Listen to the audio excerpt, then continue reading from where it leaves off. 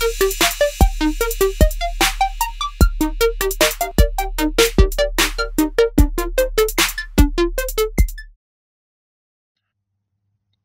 are five different viruses that can cause hepatitis, all of them from different viral families. However, the signs and symptoms are very similar. Episodes of fever, jaundice, and elevated ALT and AST. So in discussing each of these viruses individually, hepatitis A virus is an RNA picornavirus. It's transmitted primarily by fecal-oral route, has a short incubation time about three weeks, and there are no asymptomatic carrier states for hepatitis A. We commonly see hepatitis A in daycares and kindergartens because of the fecal-oral route. So remember for hepatitis A, it's asymptomatic usually, it's an acute infection, and it's alone, meaning no carriers. Hepatitis B virus is a DNA hepadnavirus.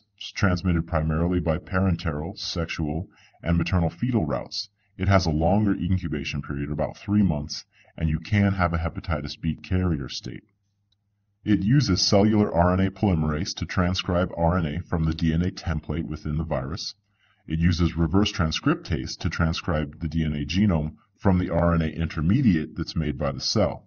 However, the virion enzyme is a DNA-dependent DNA polymerase. So for hepatitis B, remember bloodborne.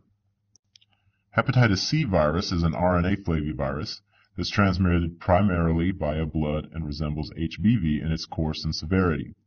It does have a carrier state as well, and it's a common cause of post-transfusion hepatitis and of hepatitis among IV drug users in the United States. So for Hep C, remember chronic cirrhosis, carcinoma, and carriers. It's the most commonly chronic hepatitis virus. It can cause cirrhosis and liver carcinoma, and it has a high carrier state. HDV or hepatitis D virus has a delta agent. It's actually a defective virus that requires the HB surface antigen to have an envelope. HDV is actually most associated with co-infection with HBV or a superinfection in patients that already have HBV. The latter carries the worst prognosis. As with HBV, HDV can also have a carrier state. So for hepatitis D, remember defective and dependent on HBV. Hepatitis E virus is an RNA hepevirus. It's transmitted enterically and causes waterborne epidemics. It resembles hepatitis A in its course, as well as its severity and its incubation, so it's more acute and less severe. We do see, however, a high mortality rate in pregnant women. So for Hep E, remember your E's, enteric, expectant mothers, and epidemics. Both HBV and HCV, as I mentioned, predispose a patient to chronic active hepatitis. This can lead to liver cirrhosis and hepatocellular carcinoma. So A and E, remember the fecal oral route, hepatitis A, hepatitis E. The vowels hit your bowels. Because naked viruses don't rely on an envelope, they are not destroyed in the gut. In order to diagnose hepatitis B, we use several different serologic markers that we can see here. The first one is the coat protein, or the HBS, or surface antigen. We also use the core protein, which is the HBC, core antigen. We can also see the DNA genome and the DNA polymerase within this slide. Let's talk about the serologic markers. We look both for the antigen and the antibody. The first one is the anti-HAV antibody, which is an IgM antibody. This one is specific for testing for hepatitis A. It's an IgM antibody to hepatitis A. It's the best test to detect active Hep A. There's also a test available for the HAV antibody in the IgG form. Remember that IgG is a memory antibody. It comes along a little bit later. So the IgG antibody presence indicates prior hepatitis A infection, and this protects against reinfection. Now, in speaking about hepatitis B, Again, several different markers that we use.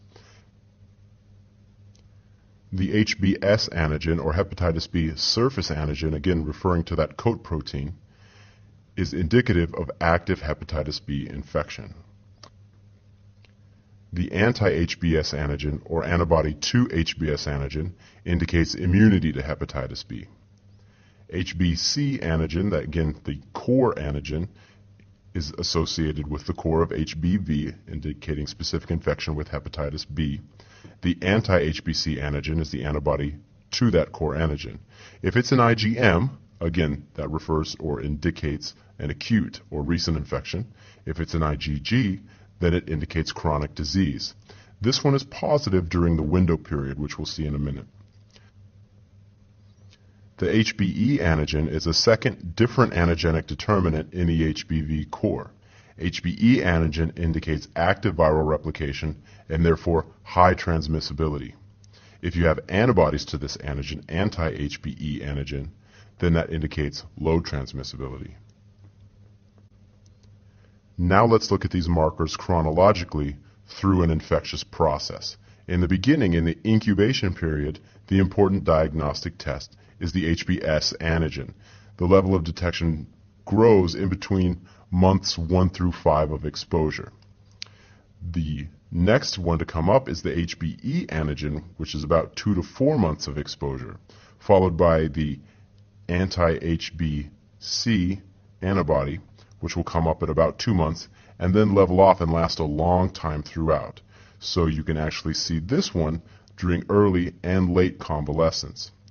The next marker to come up during the equivalence zone or the window period, remember that's anti-HBc. That's the only one that you'll see during that equivalence zone. Sometimes we can detect anti-HBe during that time as well.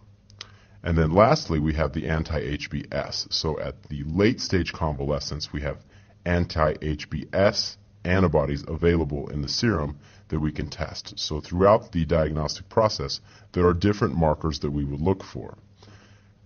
Remember that with hepatitis, we're always going to look at ALT and AST. Remember, viral hepatitis, ALT is greater than AST. That's different than alcoholic hepatitis, where AST is greater than ALT.